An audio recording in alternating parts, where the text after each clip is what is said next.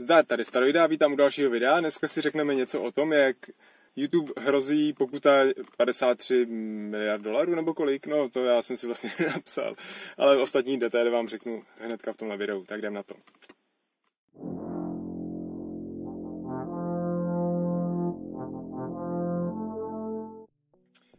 Takže jo, moji věrní diváci si jistě vzpomenou, že jsem kdysi dávno mluvil o YouTube odborech, který založil Jörg Správe, německý YouTuber, který má Slingshot, Slingshot channel, kde prostě staví různé zbraně, praky a takovéhle věci.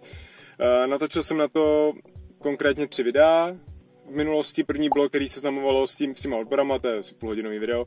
Pak jsem v jednom kartolku to trochu zmínil, pak jsem natáčel třetí video, kde vlastně se York se sešel s hlavou na z YouTube a získal o nich nějaké informace.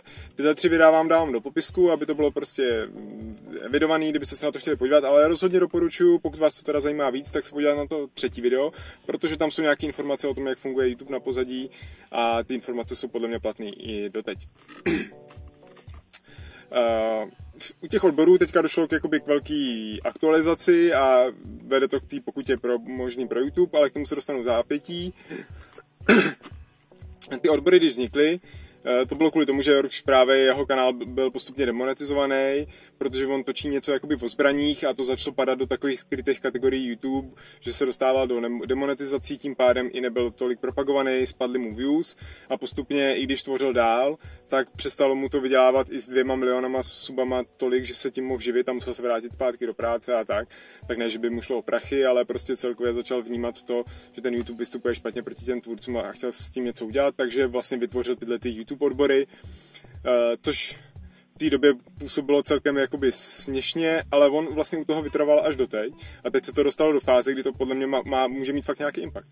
Eh, původní požadavky těch odborů, eh, nebo to, co on formuloval v rámci těch odborů, bylo, bylo jich šest, myslím, aby monetizace byla i pro malý kanály, protože to bylo v té době, jak, jak to bylo jen pro ty tisíc subů, že může být monetizace, což mi nepřijde zase tak jako těžká podmínka na splnění, ale prostě aby byly pro všechny, eh, boti, aby nestrajkovali, nebanovali, aby to dělali živí lidi, aby se s těma eh, lidma dalo i bavit a domluvit, aby byli s nima nějaký kontakt, protože teďka ne, neexistuje žádný odvolání, pak tam měl požadavek, aby se demonetizace zrušila prostě úplně, jakmile prostě to video splní ty YouTube podmínky, že vůbec tam může být na té platformě, tak má být monetizovaný a ať si ty uh, inzerenti vybírají, pro jaký typ videí to video svých chtějí zobrazit, protože jsou inzerenti, kteří by klidně dali video i pod uh, reklamu i pod video se zbraněma a tak.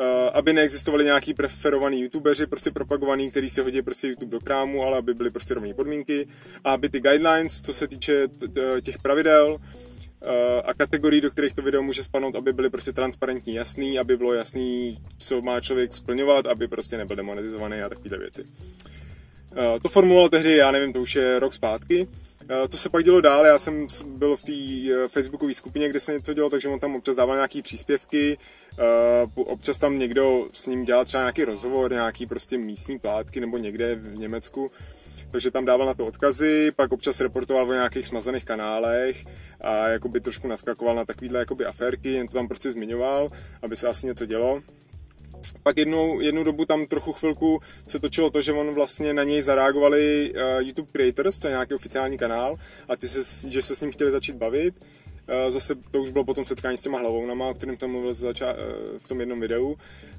takže s, že s ním může navázat nějakou spolupráci, což on oslavoval, že konečně někdo z YouTube se s ním bude bavit, ale to nějak prostě vyšumělo a celkově se jakoby nic nedělo, jo. Občas jenom nějaký takovýhle random příspěvek a vypadalo to, že to tak nějak jakoby spí, i když on vždycky tam jako váděl, že, že nebojte, nespíme a tak.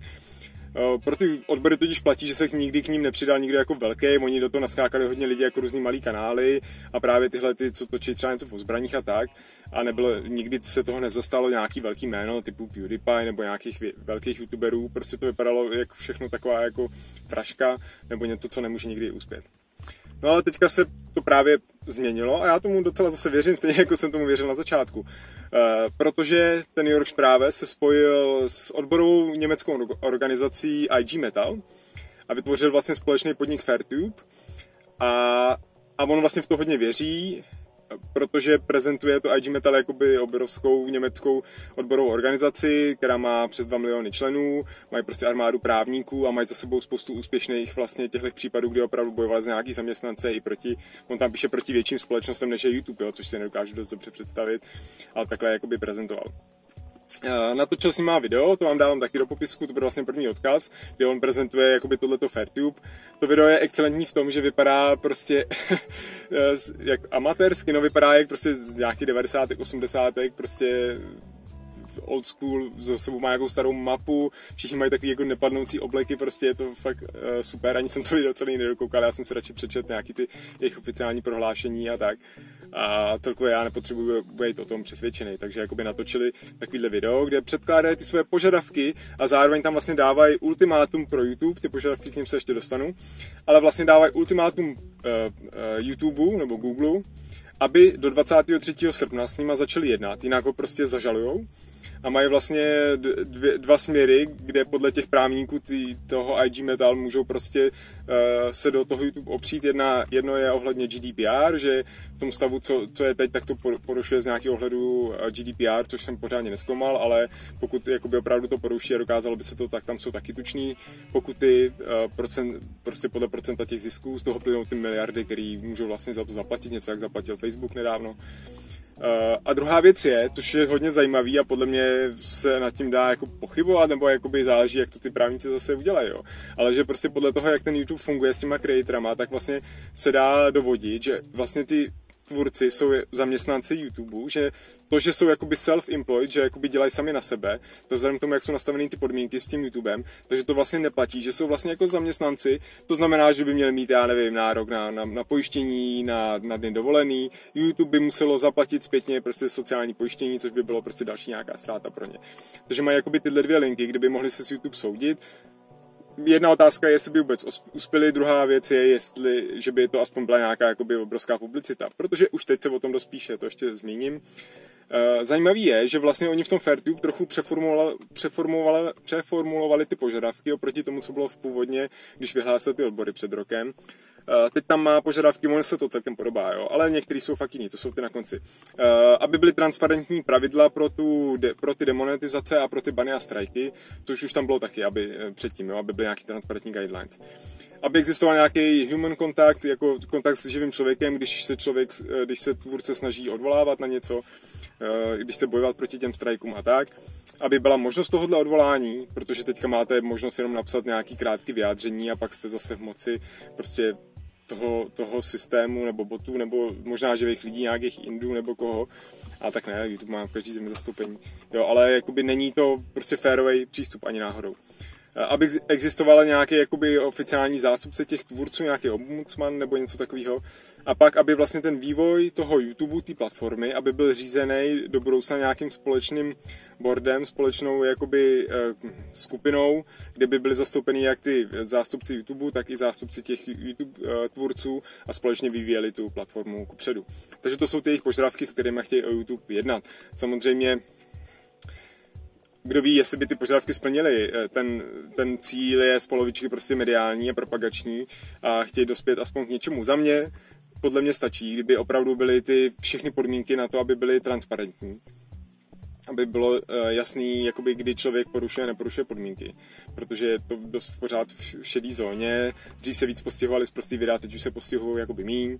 A ty dolary se ukazují, eh, nebo žlutý dolary demonetizace, demonetizace se ukazují z důvodu, který člověk jako nedokáže rozpoznat lidi jako uh, Pita TV, ten má permanentně zakázaný komentáře, protože asi točil videa občas o, děť, o dětech, ale i když má video, který není o dětech, tak tam stejně má zakázaný komentáře, tak je prostě na černý nějaký licině. Proč? Nemůže se zase proti tomu odvolat, takže stačilo by, aby tam vládla v, tom, v tomhle hledu nějaká ta transparence. To, aby existoval nějaký ombudsman nebo nějaký board na vývoj YouTube, to je, to je prostě taková jako vize, nějaký přání, který mu, který nevím, za je potřeba a a jestli by to vůbec mohlo jakoby fungovat. Paradoxně to je něco, na co by to YouTube mohlo přistoupit, protože že dá, když chceš něco ne, nevyřešit, tak na to založ komise, jak je takový prostě trošku cynický pořekadlo z politiky, jo? takže tím založením komise by prostě se uh, vlk nežral, jako zůstala celá.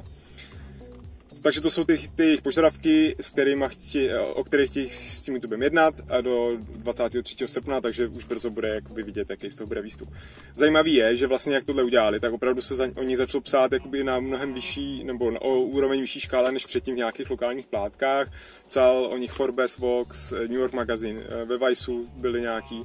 A to je vlastně docela čerstvá zpráva jakože to je celkem nový, ještě oni můžou psát dál a dál, záleží, jak to bude růst. Uh, reagují na to nějaký youtubeři docela, teďka bylo nějaký video na nějakým jakoby news channelu, což těchto takových channelů je prostě třeba v Americe dostat, ten má asi přes milion prostě už sledovatelů, takže prostě se to začíná, takže tam to zpracovali ve formě zpráv, takže tam se to zase šíří.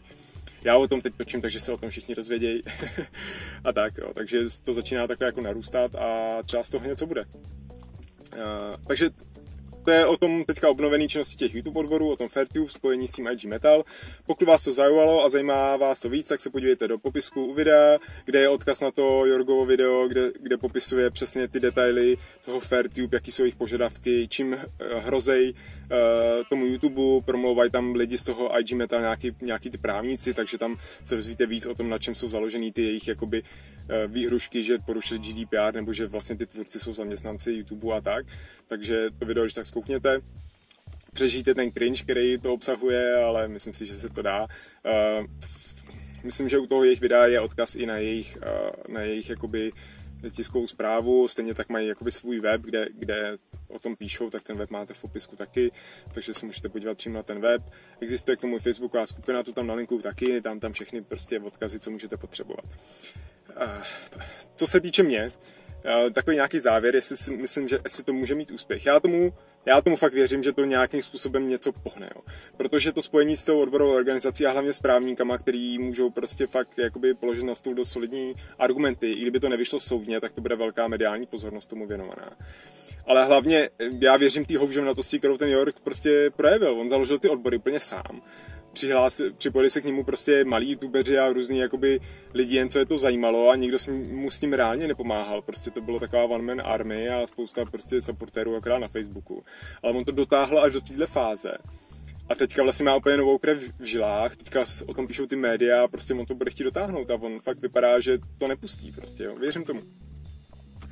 A podle mě si, si to téma zaslouží další rozšíření, doufám, že o tom natočí lidi, který, uh, který mají mnohem větší dopad. Třeba tady na naší scéně by o tom mohl natočit Daklo, který ve svých rekásech točí o menších kravinách, takže pokud, uh, takže pokud to, to, no, se o tom nějak dozví, no, tak, snad, jo, tak třeba o tom natočí.